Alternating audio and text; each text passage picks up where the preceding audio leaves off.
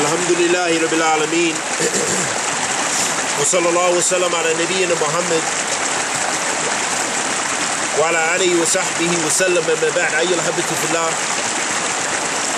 continue on in our reading of encouraging harmony and wisdom in dawah and warning from discord. The sheikh was mentioning about his trip to sudan and dealing with a lot of extreme Sufis there and that due to wisdom and beautiful preaching and not insulting their scholars and insulting their their sects that they belong to, that they had the bay'at to, that they were accepting of his dawah. So that at times it's necessary to have this beautiful wisdom in preaching. He said, then we traveled to a town called Kasala or Kasala we gave dawah there and it was great, mashallah. Alhamdulillah, Allah benefited the people there. It is a small town, so we visited all of the masajid there.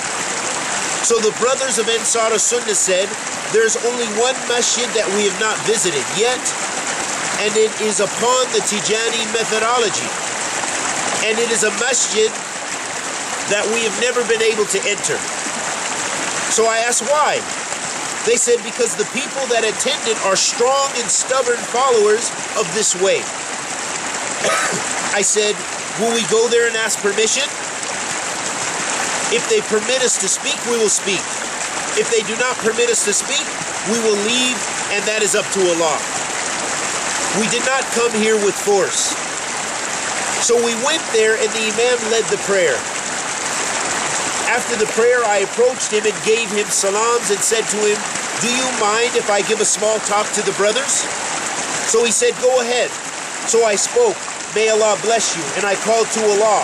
And I called to Tawheed. And I called to the Sunnah and so on. And at the same time, I refuted the mistakes and the misguided be- uh, beliefs that were present until I reached the hadith of Aisha radiallahu ta'ala anha, uh, where she said, Three things.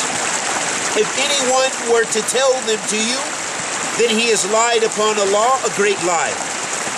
Whoever tells you that Muhammad wasallam has seen his Lord has lied a great lie upon Allah. And whoever says that Muhammad wasallam knows the future has lied a great lie against Allah ta'ala. And whoever claims that Muhammad wasallam did not relate the whole religion to the people has lied against Allah a great lie. So he got up and he said, By Allah, Muhammad saw his Lord with his own two eyes that are on his head. So I said to him, May Allah reward you with good. As for Aisha radiallahu ta'ala anha, she is the most knowledgeable of his affairs. And she said that he did not see his Lord. And by Allah, if he had seen his Lord, he would have told her. He kept on talking, so I said to him, Wait until I have finished what I have to say, and then you can ask whatever you like. That which I know, I will answer. That which I do not know, I will tell you I do not know. I left him and I continued speaking, and I was not really sure if he stayed or if he left. Slowly, I heard one of the men in the crowd saying, By Allah, what this man is saying is the truth. May Allah bless you. Then the adhan of Isha was called and I finished my speech. Then the Iqamah was called and the people started pushing me to lead the prayer. So I said, never, never. The Imam should lead the prayer. They said, by Allah, you lead the prayer.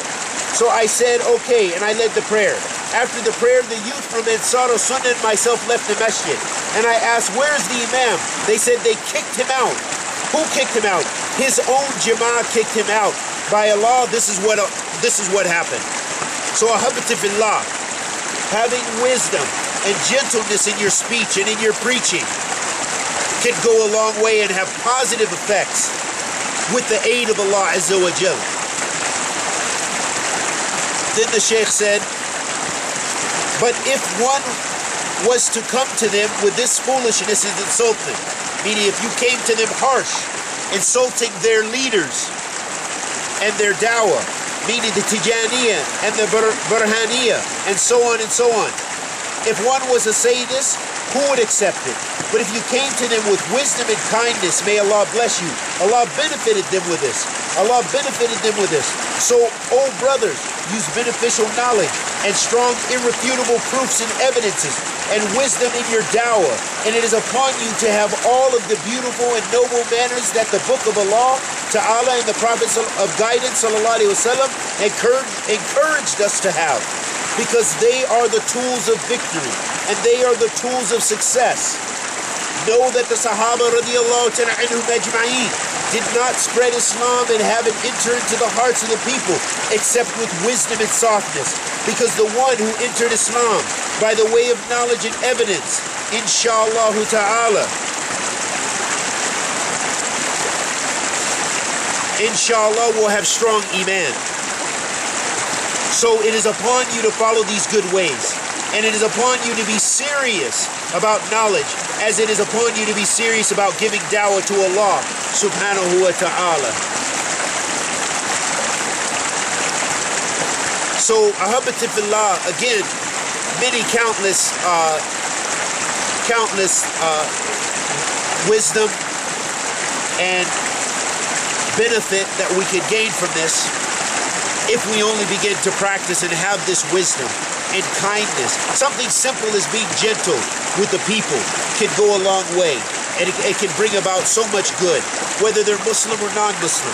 If you show them kindness, you show them the haq, and you show them this truth with kindness, either they will accept it, or at least they will not be as hostile towards you, and hostile towards the deen of Allah Azza wa Jal, which will only hurt them.